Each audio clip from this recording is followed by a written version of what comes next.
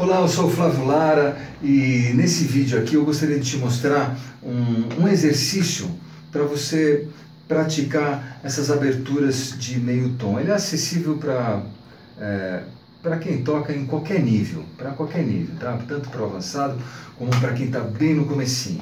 Tá? É, tem a ver com aqueles exercícios, sabe, de você fazer com o dedo 1 e 2 ou fazer com o dedo 3 e 4, só que a gente vai dar uma aplicação musical nele, tá? Então é o seguinte, nós vamos fazer, nós vamos aproximar cromaticamente é, sempre um semitom abaixo, fazendo a tensão, e na nota do acorde fazendo a resolução. Então a ideia é assim, ó.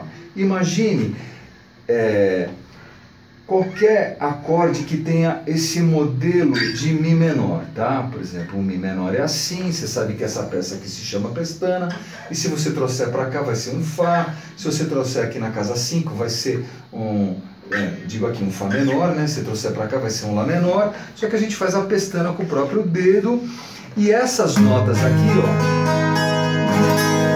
o que, que nós vamos fazer?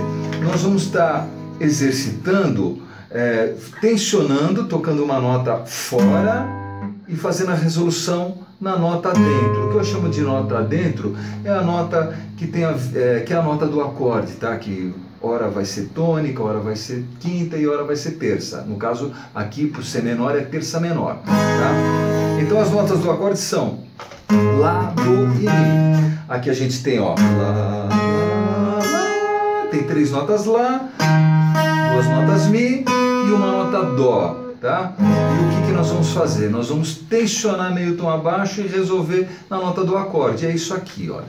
Repare no exercício. Tá?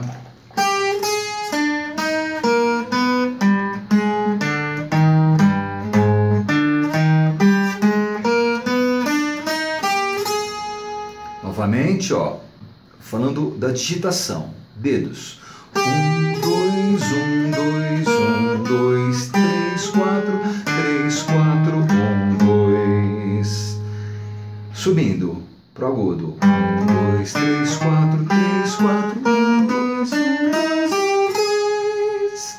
Tá? Então vai ter uma aplicação legal sempre que você tiver esse tipo de formato de acorde.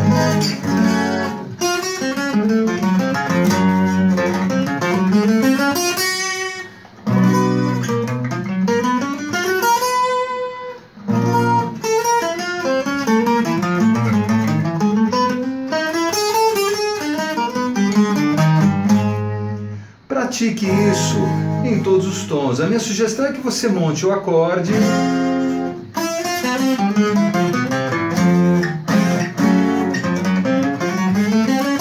Para você associar com a possibilidade de aplicar, para que não fique apenas um exercício técnico, para que se torne realmente um exercício que vai ter aplicação musical toda vez que você tiver esse formato aqui.